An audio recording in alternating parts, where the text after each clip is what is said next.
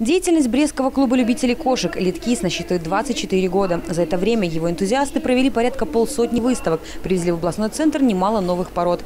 Участники мероприятия, как правило, брещане, обладатели пушистых друзей. На этот раз на выставке представлены 10 пород. Среди редких видов британцы, скотиш-фолды, бенгалы, русские голубые, сиамские и балинезийские кошки. И многие из них – неоднократные обладатели республиканских и международных наград. Не обязательно обладать уникальной породой. Главное – обладать кошкой или котом.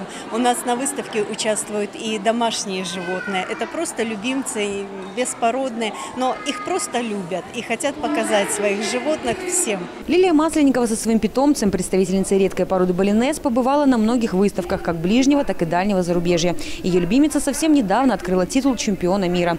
Хозяйка уверена, домашнего питомца ждет немало новых наград, а потому участие в дальнейших выставках она планирует уже сегодня. Э, участие в выставок люди видят просто э, кошечек, э, клеточки и так далее. Но здесь у нас проходит очень серьезное судейство.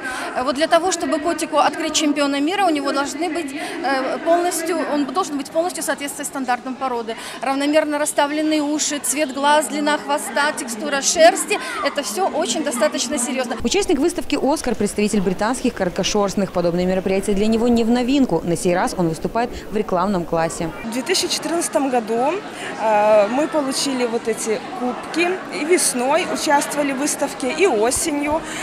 Лучший в породе, лучший э, британец 2004 года. Это э, возможность показать э, своего питомца, ну и вообще как, как развлечение.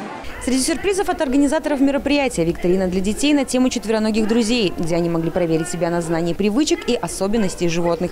Выставка детского рисунка от воспитанников из-за студии «Белка» тоже не смогла оставить равнодушными посетителей. Работы маленьких брещан были посвящены теме кошек.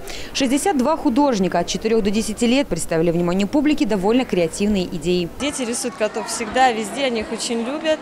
И э, изображение кошек, в общем-то, им близ, близко, близко, и каждый рисует кошек по-разному. В этом, в общем-то, получился интерес. Несмотря на то, что тема одна кошачья, но рисунки все разные, разные по технике. У меня вот это как отдых. Вот я вот очень вот люблю вот рисовать, и я придумываю сразу всякие эти интересные идеи всегда приходят в голову. Здоровые и красивые животные – заслуга его хозяев. Подобные выставки и направлены на то, чтобы объединить единомышленников, любителей четвероногих, с целью обмена опытом, идеями и полезного общения.